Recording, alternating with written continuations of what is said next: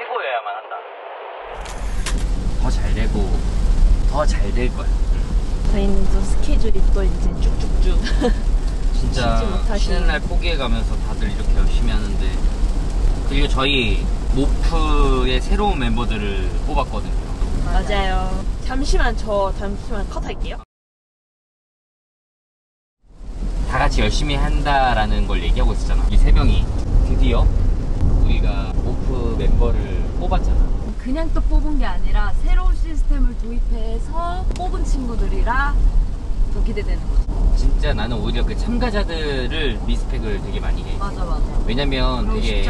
생각보다 자기를 시험한다라는 걸 알았을 때는 되려 증명을 하려는 사람들보다는 오히려 맞아 꺼려하는 사람들이 은근히 많거든. 근데 이제 우리가 이번에 대략 7, 80명 정도 지원을 했잖아. 이렇게 많이 지원한 것도 우리는 좀 놀라운데 우리가 1차로 합격자를 선, 선별을 해서 그리고 2차에서 또 면접과 오디션을 또 진행을 했고 거기서 또 우리가 조금 신중하게 검토를 해서 이제 3차까지 뽑힌 사람들 한해서 우리 트레이닝 시스템을 아주 간단하게 이제 테스트도 해보고 우리 안무를 잘 소화하는지 아니면은 얼마나 연습량이 많은지 뭐 되게 다양한 이유에서 혹은 새로운 친구들과 대화를 하지 않은 상황이고 사실 오늘 대화여야 하는데 뮤비 촬영 일정이 너무 땡겨져가지고 갑작스럽게 캔슬이 되고 이번 주 금요일 날 만나기로 하는데 사실 난 너무 기대가 많이 돼 그래서 오히려 이렇게 세 명이서 열심히 하는 부분들을 그 나머지 멤버들도 열심히 성장해 주면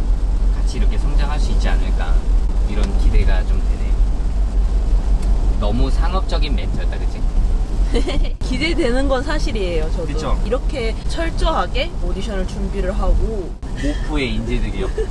우리 모프는 최고여야만 한다. 우리 모프는 진짜 잘해야 돼. 우리 모프는 다 잘했으면 좋겠어. 지금 뽑힌 친구들이 그냥 잘 성장해 줬으면 좋겠다라는 생각밖에 없어.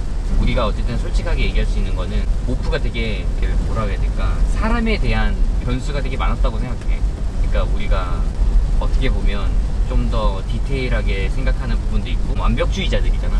그 일을 하는 데 있어서 아쉬웠던 부분들이 굉장히 많았던 것 같고 우리 내부적으로 조금 더 많이 성장할 수 있었던 시간들이 좀 더뎠다?